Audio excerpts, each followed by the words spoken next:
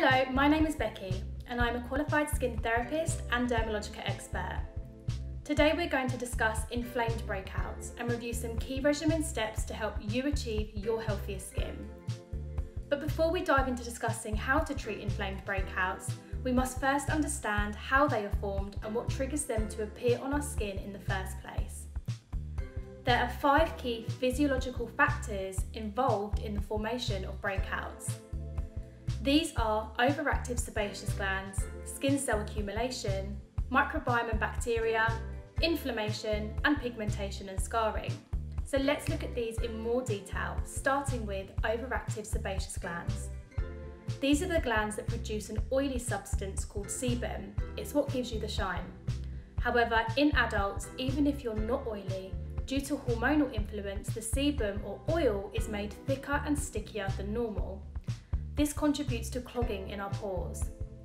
We then have cell accumulation to contend with. Our skin produces millions of skin cells a day, a process called desquamation. However, in breakout prone skins, the dead skin cells are not released as they normally would be, and they mix with the sticky sebum, congesting the pores, quite literally causing a plug. Now, in our pores lives our microbiome and bacteria, Scientists are still trying to understand more about the skin's microbiome, which is an ecosystem of microorganisms. But we do know that one of its residents, the bacteria Cutibacterium acnes or C. acnes, cause breakouts. When this bad bacteria becomes trapped in an anaerobic environment, for example, a clogged pore, they feed on sebum and generate waste products. This irritates the pore, which then may trigger inflammation. Inflamed lesions are red, swollen, and sometimes pus filled breakouts. The swelling of the pore is like blowing up a balloon until it pops, which can lead to leakage and inflammation into surrounding tissues. When this stage is reached, there is a wound healing response in the skin, which helps to heal the lesion. But this wound healing response can result in pigmentation and scarring. And that's because our skin colour or melanin is produced as part of that wound healing response, so often, once the infection has cleared, you're left with a post-breakout mark. When it comes to clearing inflamed breakouts on the skin, my professional top tip would be to target inflammation first. This will lower the risk of post-inflammatory hyperpigmentation being present for a long time post-breakout. Once any inflammation has subsided, you can then go in with more active formulas to target cell accumulation, our skin's microbiome, and control overactive sebaceous glands. We can do all of this in three easy steps prep, treat, and glow. Let's have a look how.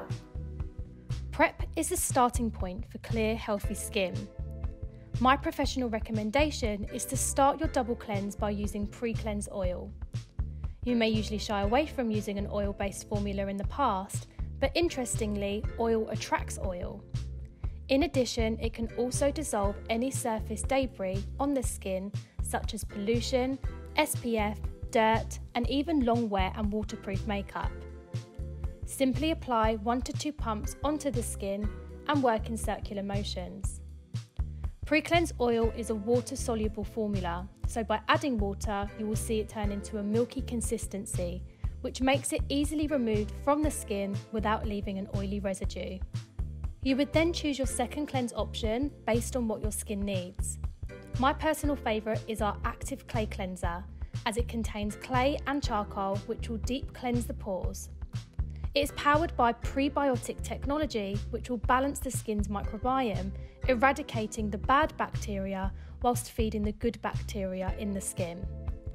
Simply dispense a blueberry sized amount and work into damp skin, then removed with tepid water. Next, use daily exfoliation to regulate cell turnover and promote healthy skin. My professional recommendation is daily microfoliant. This gentle formula uses salicylic acid and enzymes to clear underlying congestion, whilst also having anti inflammatory benefits without causing too much friction and aggravating the skin. Now our skin is prepped and ready to receive breakout clearing actives. This brings us to our next step treat. First, spritz the skin with multi active toner. This will give your skin a hydrating boost, which will help to balance out overactive sebaceous activity. Then apply Age Bright Clearing Serum, first to areas of breakout activity, then over the rest of the skin.